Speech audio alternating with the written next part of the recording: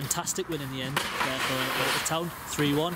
Um, I bet you didn't see that coming at half time.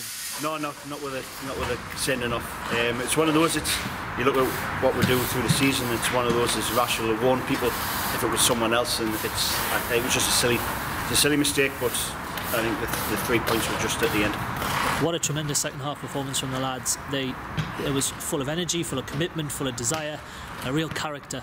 Yes, collectively we, we, we, went in the change room at half time and we knew going off from the first half that we had created plenty of chances. And it was just a case of carrying that on in the second half. And like I said it showed they're getting the first goal like once we got the first goal we just went forward from there. And it was a great result at the end Obviously, Sean Taylor scored two, Stephen Elliott got one, but I thought Ben Sayre and Jordan Fry in the middle of the park were outstanding, covering yes. the ground. Yes, they were, they were, especially with Rasmussen, so they were covering for an extra body, and Jordan will do that every game. Um, ben, the same, um, it was it was quality from everyone. Everyone on the park in the second half did, did their job, and like say, we held it out. It was a shame not to get the clean sheet, but it's a win. It's what we need to get back to.